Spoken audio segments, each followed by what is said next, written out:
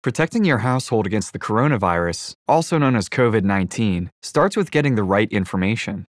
The intent of this course is to provide you with practical guidance from the Centers for Disease Control and Prevention, CDC, to help you get your household ready for community transmission of the disease in the United States. The CDC encourages household members to prepare for a COVID 19 outbreak in their community. By the end of this course, you will be able to identify actions you should take before an outbreak occurs in your community, identify actions you should execute during an outbreak, identify actions you should take after an outbreak occurs.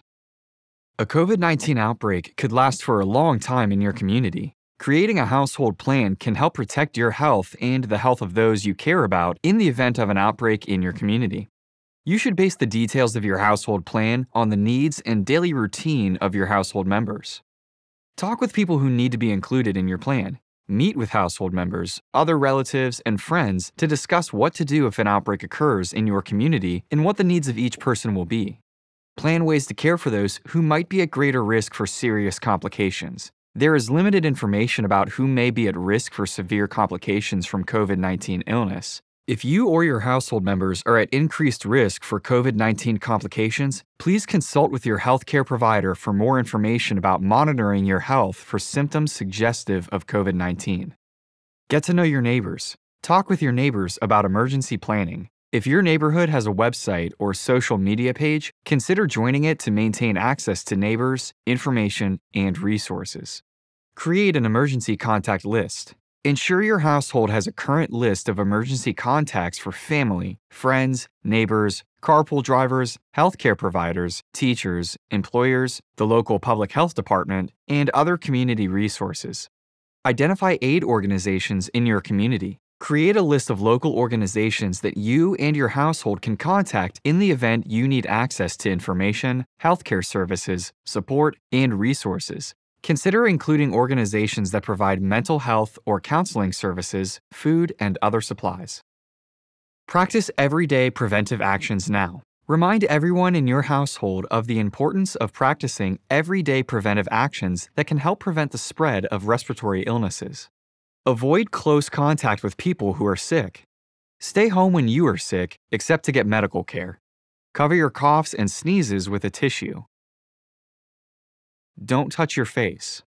Clean frequently touched surfaces and objects daily using a regular household detergent and water. If surfaces are dirty, they should be cleaned using a detergent and water prior to disinfection. Always follow the manufacturer's instructions for all cleaning and disinfection products. Wash your hands often with soap and water for at least 20 seconds, especially after going to the bathroom, before eating, and after blowing your nose, coughing, or sneezing. If soap and water are not readily available, use a hand sanitizer that contains at least 60% alcohol. Always wash your hands with soap and water if your hands are visibly dirty. Choose a room in your home that can be used to separate sick household members from those who are healthy. Identify a separate bathroom for the sick person to use if possible. Plan to clean these rooms as needed when someone is sick. Protect yourself and others by Staying home when you are sick with COVID 19 symptoms, which may include fever, cough, and difficulty breathing. Keeping away from others who are sick. Limiting close contact with others as much as possible, about 6 feet. Stay informed about the local COVID 19 situation.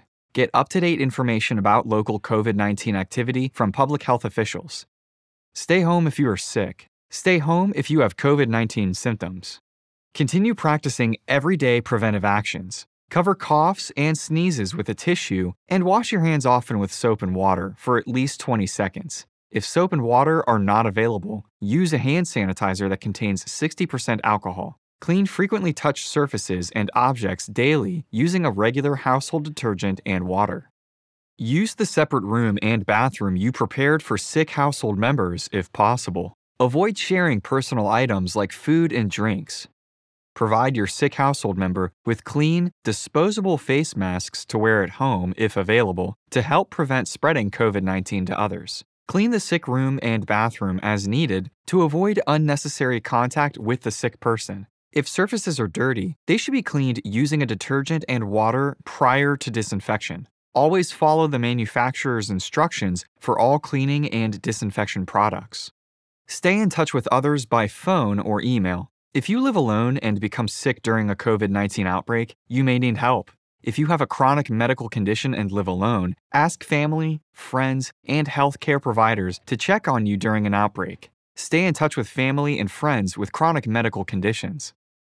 Take care of the emotional health of your household members.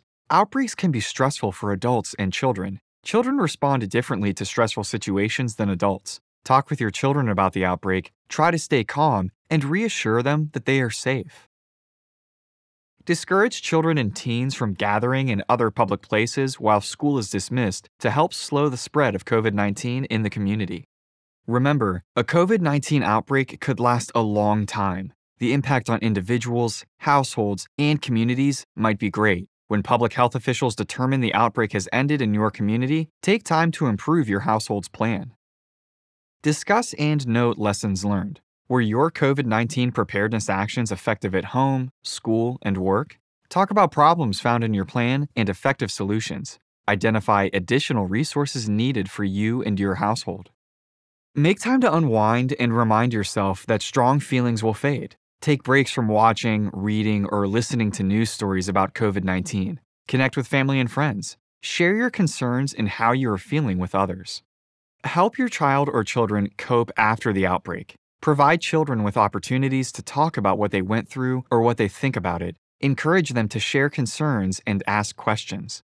Because parents, teachers, and other adults see children in different situations, it is important for them to work together to share information about how each child is coping after the outbreak. The coronavirus should be taken seriously by ensuring that you understand actions you should take before, during, and after an outbreak occurs, you are taking actions to keep you and your family safe.